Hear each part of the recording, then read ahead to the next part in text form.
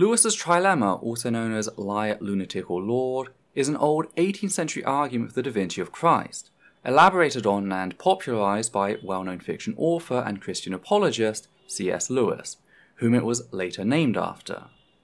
As one can likely expect from Christian theology, the argument is deeply flawed. Yet, more important to us and this video, it's also entirely dependent on ableism. So let's talk about that. Though before we get around to doing so, I just need to give a content warning for the following. Ableism, mental health, and PTSD.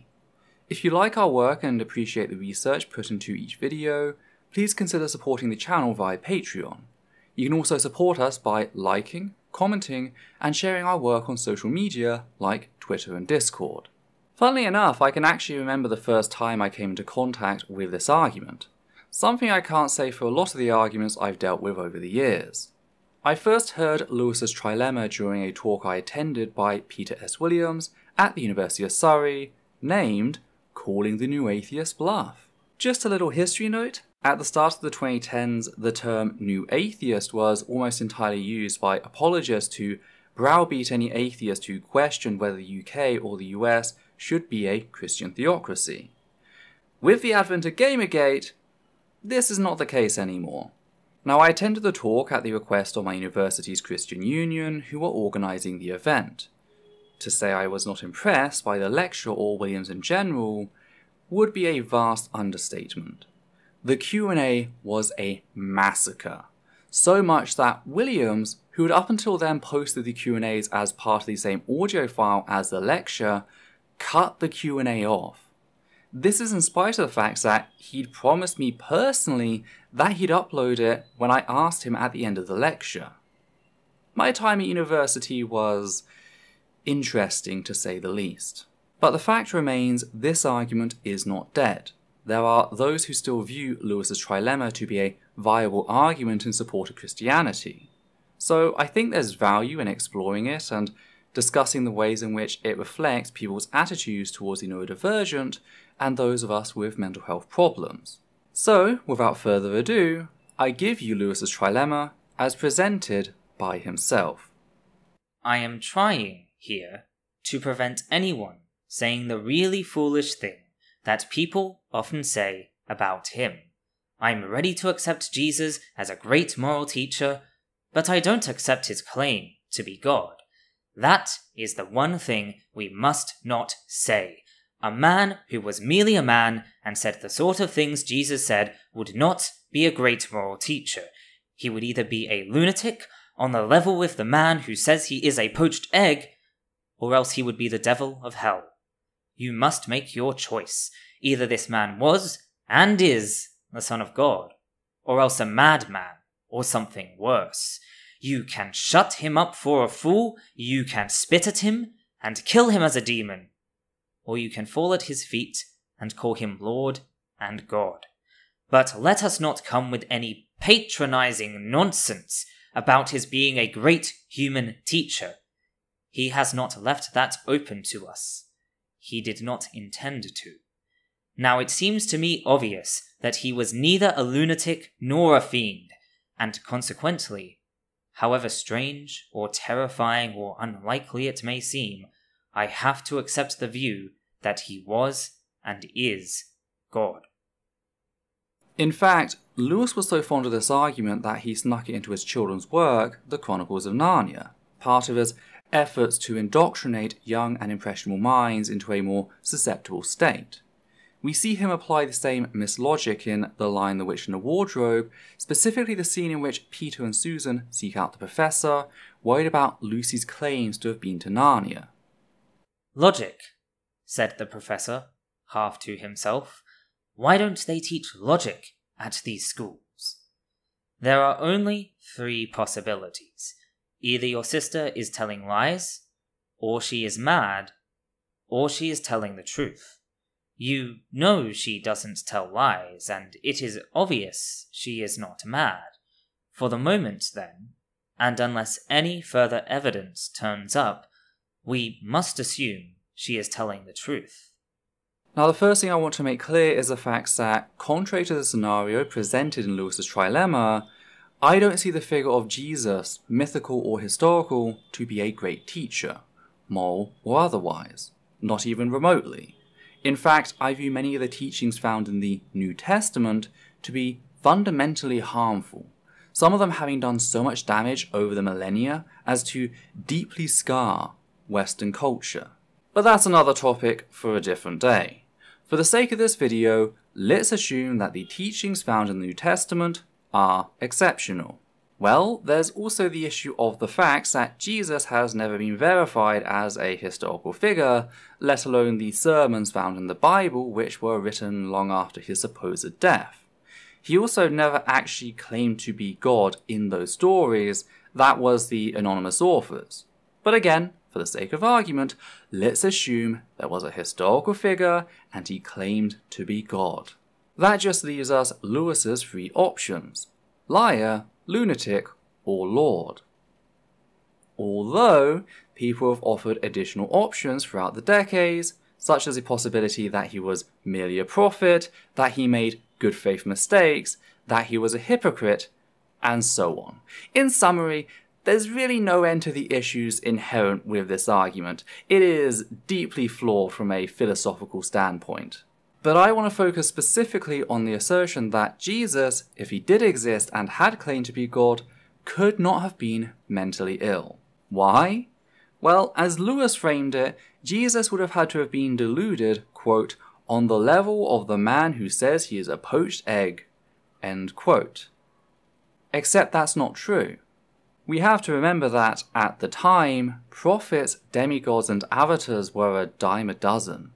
Shitty political takes of the creators aside, one of the things the Monty Python crew got right with their movie The Life of Brian was the fact that there were prophets starting up cults everywhere during said period. Early Christians not only clashed with, but were thought to have stolen elements of their own scripture from some of these groups, such as the cult of Mithras. In fact, the only reason Christianity survives today and Mithraism doesn't is because Christianity set out to destroy Mithraism during the Christianization of Rome, in part due to its similarities to Christianity. As Luther H. Martin, professor of religion at the University of Vermont, put it, the cult was vigorously opposed by Christian polemists, especially by Justin and Tertullian, because of perceived similarities between it and early Christianity and with the anti pagan decrees of the Christian Emperor Theodosius during the final decade of the 4th century, Mithraism disappeared from the history of religions as a viable religious practice. Why am I bringing all this up? Well, one criteria of a mental illness is that it has to violate social norms. That's not the sole criteria. A mental illness must also cause harm, such as by interfering with day to day functioning, but it is one of them. Point is, the social norms of a culture play a big part in what is deemed a mental illness. We could look at a person whose behavior suddenly changes, with them refusing to drink water when thirsty during the warmest parts of the day, claiming to seek the favor of some invisible entity, and wonder if there was an underlying mental health problem there. But the moment I acknowledge the person is Muslim, that they do so as part of Ramadan and that they've been raised to partake in it culturally as a means of showing their religious devotion, that changes everything. Likewise, whilst the idea of a person genuinely believing themselves to be divine today seems like something only a person with a bizarre delusion would believe, that wasn't the case back then. Jesus supposedly grew up in a society in which claims to be connected to the divine are commonplace. All that's really needed then are a random series of events that appear favorable and human apophenia, i.e., the tendency to perceive meaningful connections between unrelated things, and it becomes very easy to see how such a person could come to the conclusion that they must be divine. It really isn't as outlandish as C.S. Lewis pretends. However, there's a deeper implication being made here, and that's the idea that people with atypical thinking cannot create or say something of value. The reality is, even people with bizarre delusions today, delusions which literally cannot be true are usually otherwise indiscernible from people without bizarre delusions. They socialize and function typically, and yes, they could impart great moral teachings upon the rest of the world. In fact, I'm going to go one step further and say that such people are more likely to do so. Why? Well, people with atypical thinking, so those of us with mental health problems and the neurodivergent, are more likely to see what others have missed or have been conditioned to miss, meaning they're more likely to challenge the status quo. I mean, our fucking survival has been made to depend on it. And there is evidence to back this up. For example, autistic people are less willing on average to hurt a stranger for their own financial gain. Now, that might not sound like very much, but considering we live in a capitalist society, capitalism literally being an economic system grounded in the exploitation of other people's labor, it does run counter the social norm. Autistic people are less likely to take things as a given, they're more likely to question consensus and form their own conclusions, and that makes them less likely to conform and to partake in systemic violence. The sad fact is, because the researchers behind said paper share the same ableist assumptions as Lewis, believing that the neurodivergent could offer nothing of value or surpass their neurotypical peers, they chose to frame said behavior as a quote, deficiency, end quote. This is in spite of the fact that it would have been celebrated had this been shown about any other group. I remember atheists, Christians, and Muslims fighting over studies like these in an attempt to show the group they belonged to was more morally outstanding. But the moment said behavior was shown to be more frequent among autistic people, suddenly the same thing becomes a negative. It's shit like this that hurts, both as an autistic person and as someone who suffers from PTSD. This idea that, as someone who is not neurotypical, my efforts can never amount to anything of value. And that's a narrative we are all taught our entire lives, meaning that when we're diagnosed or realize we fall into one of these groups, it can be absolutely soul crushing. So I think it's time to put this argument to rest, not simply because it's absolute trash, but because it's predicated on an extremely harmful myth about the neurodivergent and those of us with mental health problems. Though we need to do more than that. We also need to challenge the very same ableism in today's rhetoric, regardless of which circle it's present in. We also need to question why people are so adverse to the possibility that maybe, just maybe, neurotypical people aren't superior to the rest of us. Because whilst I use Lewis's trilemma as a talking point, this style of ableism is not limited to Christian apologetics or even religion. Many atheists share the same ableist perspectives. In fact, they tend to be drawn to ableism as their casual insult for religious people.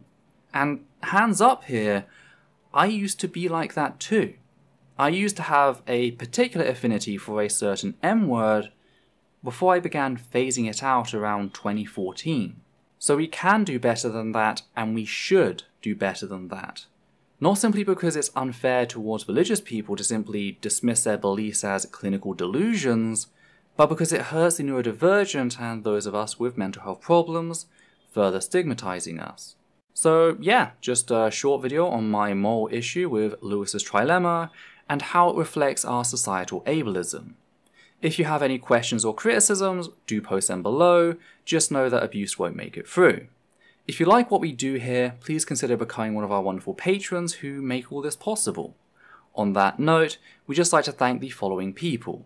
Matthew Kovac, Hannah Banghart, Gerrit Van Vors, Zoe and Katie, Cthulhu, and Sosh Daniels. And for myself, Odita and Levi, take care now.